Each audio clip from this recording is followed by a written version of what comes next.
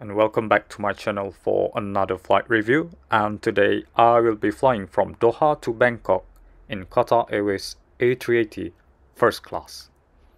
Flight QR836 will depart Doha early in the morning and arrive in Bangkok in the afternoon for a flight time of 6 hours and 30 minutes.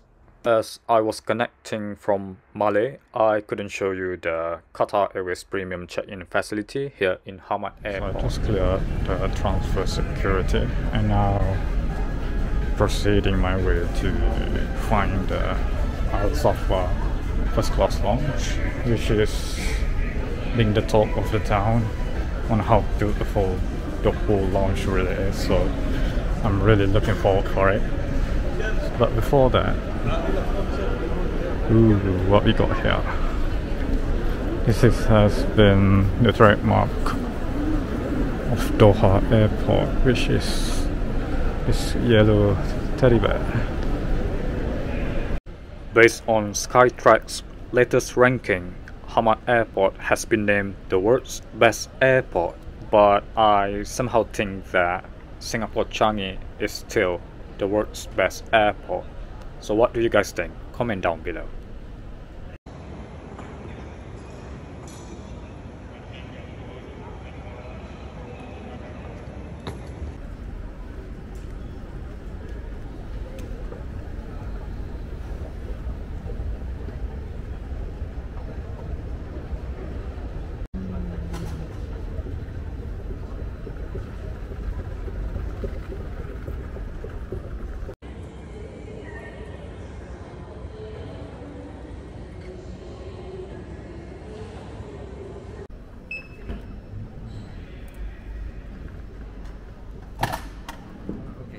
Actually, your lunch will be on the opposite side. Thank you, sir. Yes, 135 on- boarding time and we don't make announcements. Yeah? Where's the- No problem. Take your post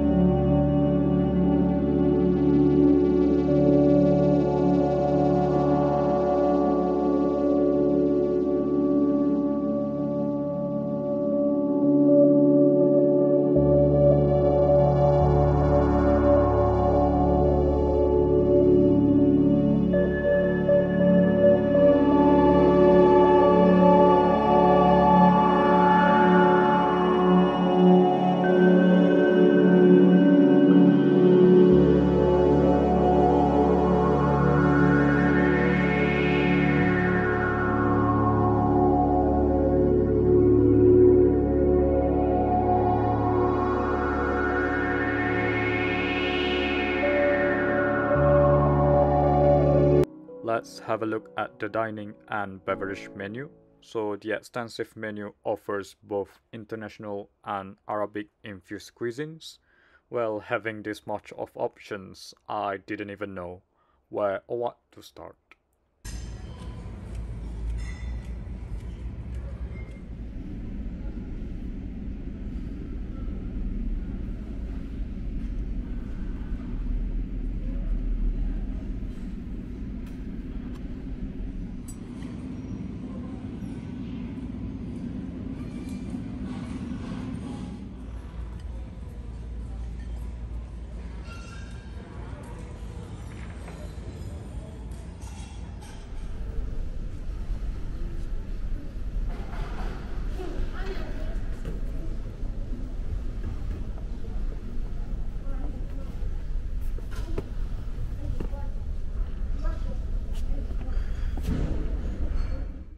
To simply put, Qatar Al Safwa just blew every other airline's first class launch out of the water. But the level of service, well, it didn't quite match to the whole grandeur of this place. Well, I gotta say that Al Safwa launch is definitely the most beautiful launch I've ever been.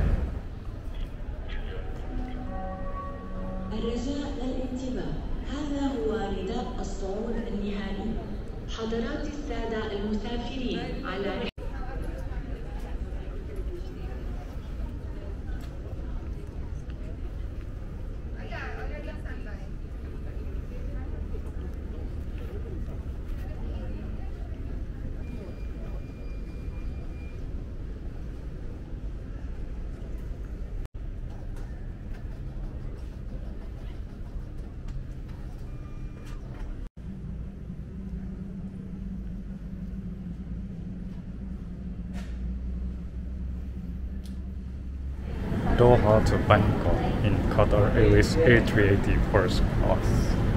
Yeah, we go.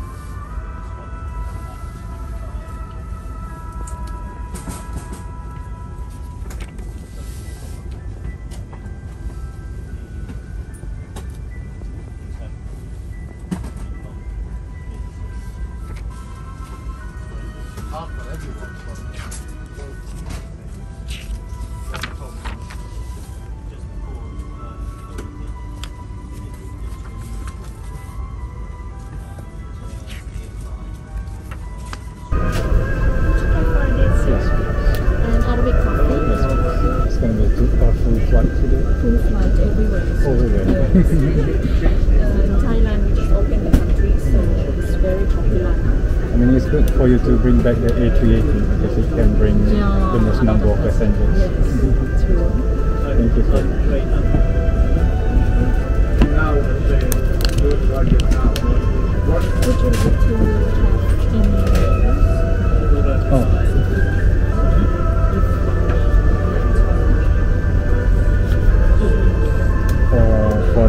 dinner, for the supper.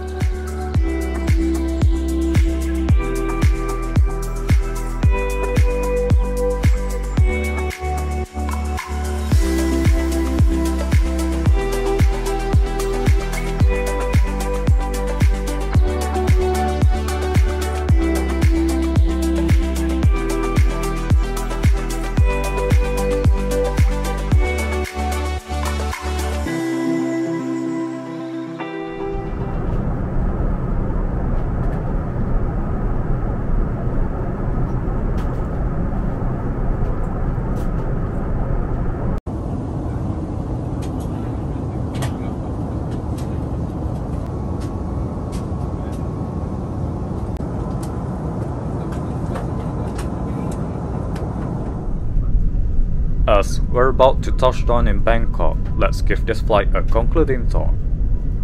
First, let's talk about the hard products. When it comes to cabin design, Qatar simply just gets it. Although not as bling as you might find in Emirates or Etihad, well, there's no denying that the design elements, the color choices, and the cabin finishes are elegantly executed and simply an understated luxury. As for the seat, it's really not a competitive product per se, especially in terms of privacy, as compared to what being offered by other leading airlines in first class, of which you could have a whole suite complete with door. Let's talk about the in-flight service. The service, well, it wasn't in any way bad, but it seems that the crew were more reserved and timid in a sense that they're kind of afraid to show their own personality. And I would say that the level of personalization was rather weak on this flight. For example, I was served by at least 4 to 5 different crew members throughout the flight. Furthermore, I wasn't consistently being addressed by my name throughout the interaction, which is a huge miss in first class. I do think the factor that sets first and business class apart is the level of personalization, which was rather underwhelming experience with Qatar. Let's move on to the dining offering.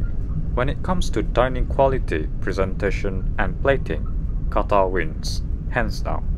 But taste wise, well, it was kind of just good without being spectacular. And in terms of varieties, Emirates first class catering is still a win for me. All in all, this is far from any reach of being the world's best first class. Comparing the three of the Middle Eastern Airlines first class, Qatar, in my opinion, is the weakest. Well, the problem with Qatar is that the business class, the Q suites, is already too good, and suffice to say that it's better for you to book Qatar Q suites rather than first class. Plus, there's so little to differentiate between first and business class other than having access to the Al Safwa lounge. But for the novelty of flying in first class, which is exclusively offered on the A380, you are still in for a treat.